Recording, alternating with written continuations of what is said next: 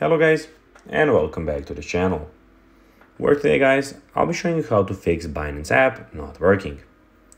So guys, the first thing that you of course need to do is go to the Google Play Store or the App Store, whichever you of course have, and download the Binance application.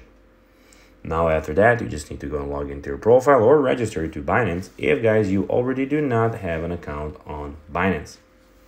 But now guys, let's see what we actually have in front of us here. We have in the bottom of the screen, we have the Markets tab, we have the Square tab, we have the Buy, Sell, Convert, and the Deposit tab, we have the Discover, and again, in the last, we have the Portfolio tab. But now guys, let's see how you can actually go and fix Binance app not working. There are a few methods that you can try and of course use. The first method is to go and of course go and delete the Binance application and then log into it again.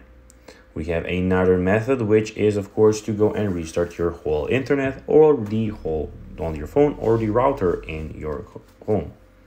Also, you can go and restart your complete phone device. So you can basically turn off your phone and then turn it on again. And the last option that you can do is go, of course, and log out out of your Binance profile and then log in again.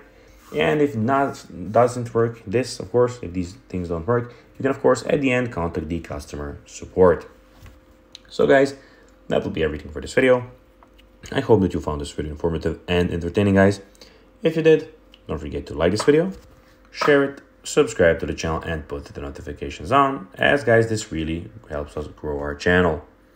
So if you have a few seconds, it'll be pretty cool if you could do this for us. So guys, as I said, that will be everything for this video. I hope that you enjoyed it and I will be seeing you in the next video on this YouTube channel. Until then, bye guys.